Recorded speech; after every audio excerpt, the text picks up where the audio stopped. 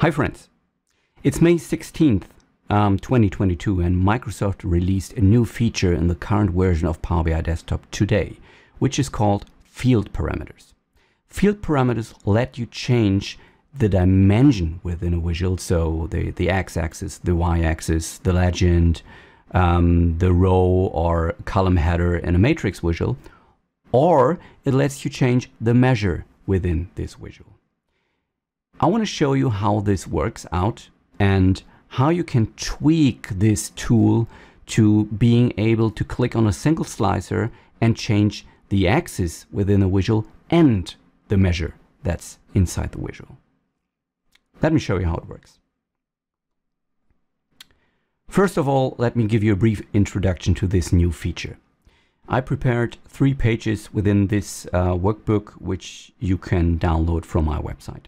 Uh, you will find the link to the specific website in the comments below. On the left, you have um, a visual, a bar chart that shows certain numbers by year, 2018, 19, and 20. On the right side, you have the exact same values, but not shown by year, but shown by month-year combination.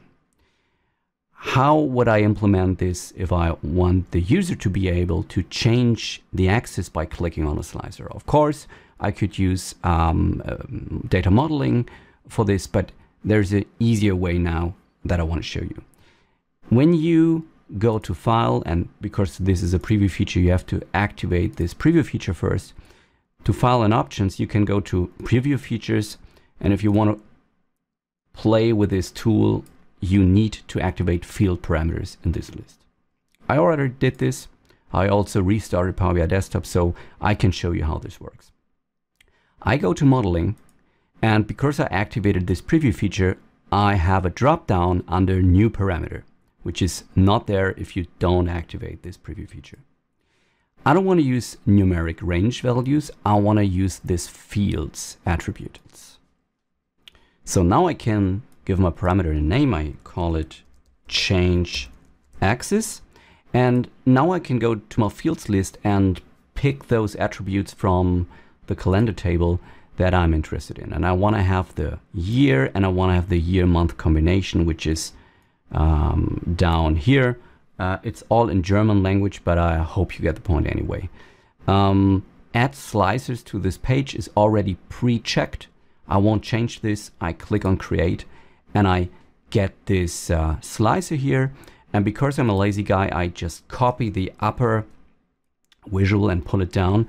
And what I want to do here is exchange the x-axis, which is month-year combination now, and I want to replace it by this newly created um, parameter. So if I click on year, I see the year, and if I click on year month, I see year month. Pretty nice. Now let's see how this works for measures. It works quite um, quite the same we have um, two visuals, one on the left side that shows um, these numbers by year. The right one does as well, but the left one shows the actuals while the right one shows the forecast. So I want to be able to switch this by clicking on the slicers. So we create the next parameter. I go on fields again. Um, we can, we could change to numeric range here if we wanted to but we stay at fields and now this time I want to be able to change measures. So therefore um, I go to the actuals and click on uh, sum value actuals current and then I go to the forecast and I um, choose the forecast value. I click on create again. It will uh, create a slicer on this page automatically. Again, here we go. And as I said, I'm lazy. I just copy this visual. I pull it down here, make it a bit smaller. And now I want to um, throw the measure out and want to replace it by this parameter here. And when I click here, you see it's the actuals value. And when I click here, it's the forecast value where I only have values for 2020. So far, so good. The thing is, um, there is no technical restriction that prevents me from including dimensional attributes like columns from a dimension table and measures within the same parameter.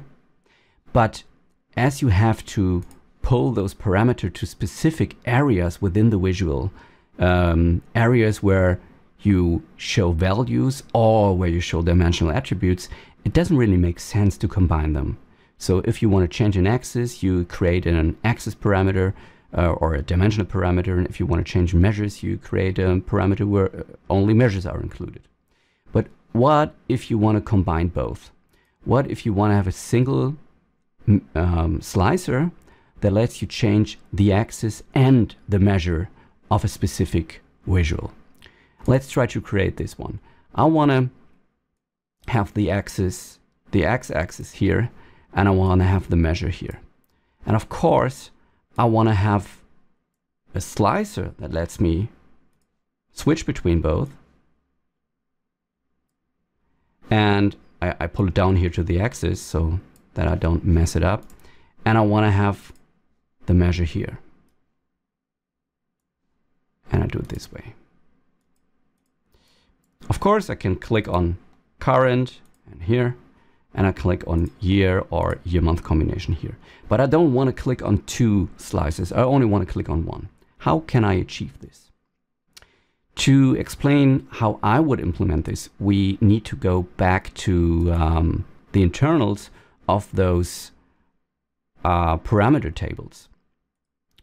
And as you can see, and I clicked on change axis, my, my first parameter, it is a table that consists of three columns created by this DAX um, by this DAX code here. And what you can see is it is basically the name of the specific um, parameter or this item within the parameter that you can choose in the slicer.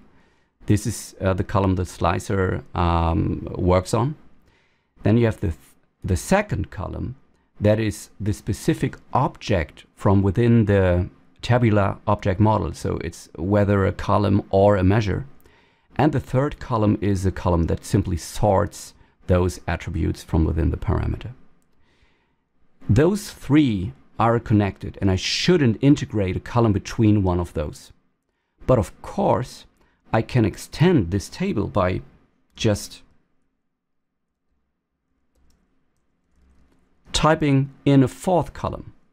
Let's say I want to have uh, the year as scenario one and uh, the month year as scenario two. I can totally do this. I forgot the two, I just added here.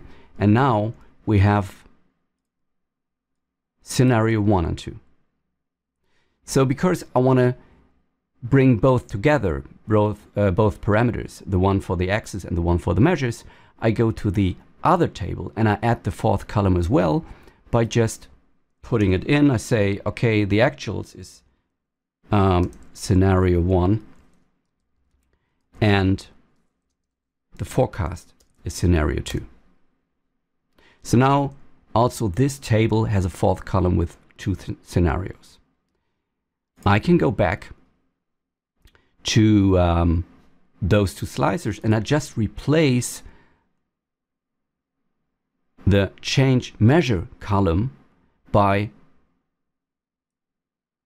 value 4 and I replace this one by the value for from the change axis parameter.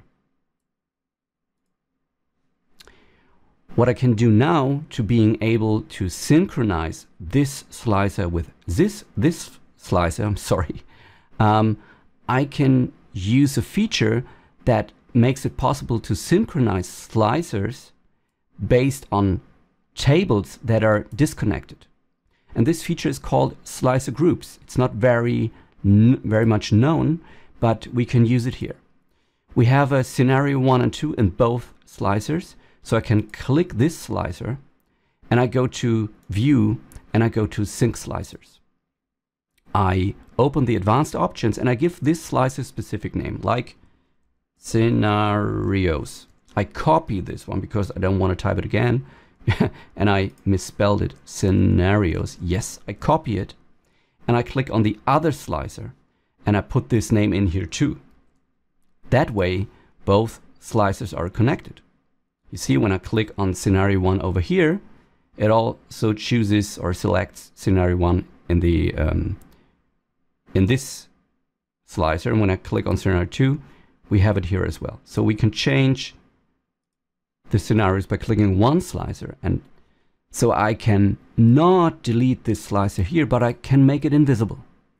I go to selection and I make it invisible and I know everything works fine. Here we are on the forecast value in the month year combination and here we are on the actuals value per year. I, I like dealing with this feature and playing around with um, field parameters and I'm pretty sure I will do much more in the future when I have more ideas how to use it. Um, I hope this was interesting for you and you find ways to implement this into your solutions. Um, if this was, was interesting for you, please leave me a comment. And um, I say thanks for watching and have a great time. Bye bye.